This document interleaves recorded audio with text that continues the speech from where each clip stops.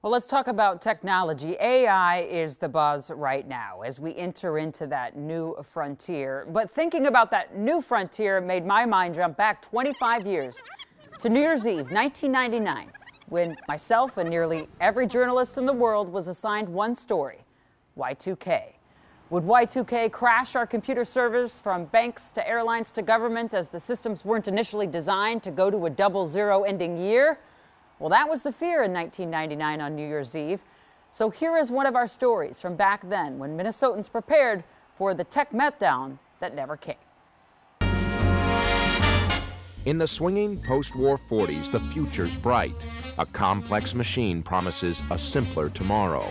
Brain power in a box is born. Meet the computer. The 6600 is so fast. As the years click by, it does more and more and more. Today, it's even portable. It's good to a point. But Henry Greiner knows its limitations. His job is computers, and Greiner sees a hidden high-tech time bomb threatening to push society into a black hole. And with Y2K, the, the possibility of multiple failures, uh, multiple dominoes falling over at the same time is increased. Greiner hears the computer world's Y2K clocks ticking towards 2000.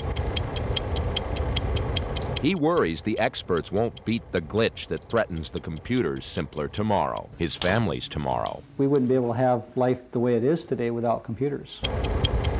But Greiner's beating the clock. As you pump it, if the power goes, manpower runs the well. It's water. You can get drinking water. This will keep the house uh, up the temperature. If the furnace fails, a wood stove for heating, even cooking. This is wheat and Leslie Greiner's called the hopper recipe for any food shortage is as basic as flour. The family's ready to go full circle from the computer's simpler world to a simpler time. I don't tell people I have to do any of this stuff. I, I try to make it a point that these are things that they can do. On a February night, at the Elk River Library. Ones we covered tonight are water. Two dozen people show up with nagging questions about Y2K. What does it have to do with gas and electricity and food? Plenty, judging by the pace of business at this Faribault generator plant. Yep, that old Y2K bug. I think people are really worried about it. So worried the power grid may fail that business is more than double what it was a year ago. They want to make sure they've got some kind of insurance that they're power supply is going to be there and uninterrupted. At this St. Paul food warehouse, they're also tasting the Y2K bug and the concerns about production and shipment of food. A lot of uh, one, one-time orders, orders that I've never seen before. They'll buy the oats, they'll buy the rice, they'll buy uh, uh, berries. They want to be able to survive what they feel will be a traumatic time. Here in the warehouse, they worry more about orders than Y2K. Working here, I'm pretty safe, I think.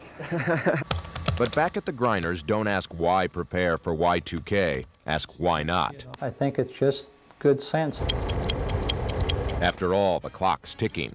If only today were as simple as the computer's founding fathers envisioned tomorrow. That was a wild time. 1999, New Year's Eve, I was in a bunker under the state capitol in Jefferson City, Missouri, doing reporting there on what would happen with the, govern the government of Missouri, that's where I lived, if Y2K took out our computers. Just a long time ago, obviously, as you know, nothing happened. But it was thanks to years of preparation. The National Museum of American History says fixing that Y2K bug in the systems and servers did cost 300 to 600 billion dollars worldwide. Wow.